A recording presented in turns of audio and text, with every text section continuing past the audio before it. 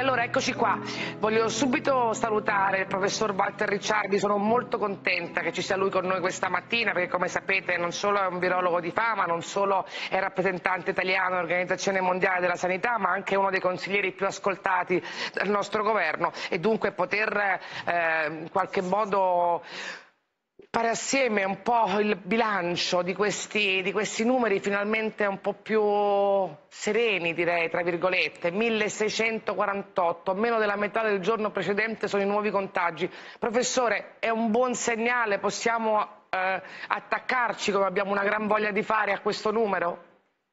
No, è un ottimo segnale, però come diceva giustamente lei non dobbiamo assolutamente abbassare la guardia perché ci sono già state altre situazioni in giro per il mondo in cui abbassare la guardia ha significato far ripartire l'epidemia. Questo è un virus insidiosissimo, non, si può, non, ci si può accontentare di un abbassamento, lo dobbiamo ridurre ai minimi termini, quindi dobbiamo abbassare la guardia, tra virgolette, soltanto quando i numeri saranno veramente sulle dita di una mano perché questa ha una crescita esponenziale, tu ti puoi trovare con due casi all'inizio della settimana e con 2000 casi 15 giorni dopo, per cui non, non, possiamo essere soddisfatti di questo che naturalmente è un risultato importantissimo ed è frutto delle decisioni e del sacrificio duro che abbiamo fatto tutti quanti però dobbiamo continuare e nel frattempo... Cioè lei mi sta dicendo finalmente raccogliamo i frutti dei grandi sacrifici fatti, ma per arrivare a quello che vogliamo noi, cioè al contagio zero, bisogna continuare ad andare avanti.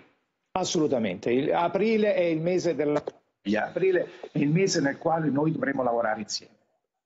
Senta professore, il tema dei guariti, no? 1590, quasi il triplo del giorno precedente, è un altro segnale che deve darci fiducia perché naturalmente c'è anche l'idea, poi che abbiamo detto fin dall'inizio, che tante persone possono passare dentro questo tunnel di questo virus ma possono uscirne poi dopo sane e riprendere a vivere. È un elemento che deve farci riflettere questo numero? Siamo alla svolta. È un elemento positivo eh, perché sostanzialmente significa, d'altra parte lo sapevamo, che questa è una sindrome, è una malattia che nella stragrande maggioranza dei casi decorre benignamente. Il problema è che quando però riguarda tantissime persone, molte di queste persone purtroppo hanno delle complicanze e molte di queste persone vanno in terapia intensiva. Per cui dobbiamo ridurre assolutamente questi numeri con il contenimento in maniera tale che quelle poche, sempre meno persone che vanno in ospedale possano essere assistite al meglio. Ecco, parliamo un secondo del tema terapia intensiva. Abbiamo sempre detto fin dall'inizio che l'obiettivo principale era